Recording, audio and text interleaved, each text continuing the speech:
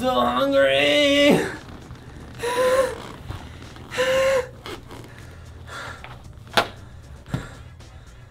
Fasting is so hard.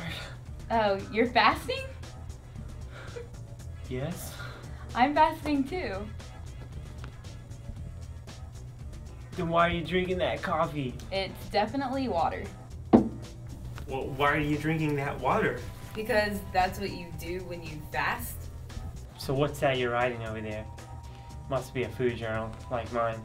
You can see last three days empty.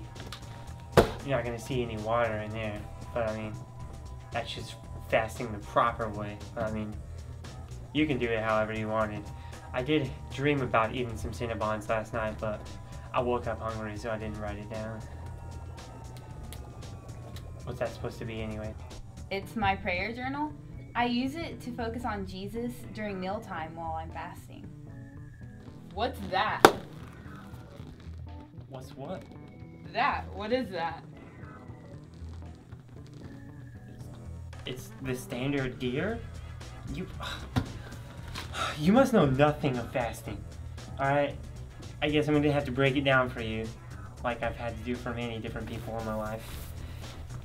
So you wanna wanna start off with from from the top with the micronutrient neutralizer, okay? I might be sitting in the restaurant. I'm still not I'm not just gonna not go to restaurants because I'm fasting. And I don't want micro particles of food getting in my mouth, making God angry, okay? So this bad boy keeps me away from all the temptations, right? Moving on down, we've got the appetite suppressor. And I just chose to go with the metabolic homogenizer attachment.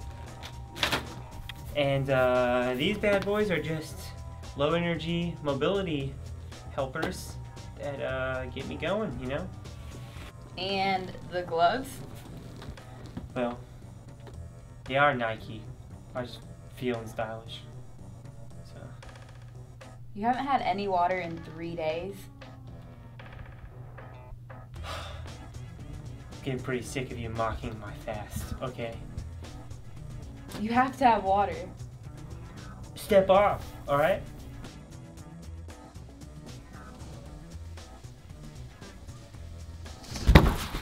Are you alright? I guess I'm just gonna go call an ambulance.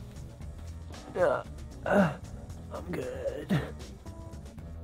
I'm okay. I'll okay.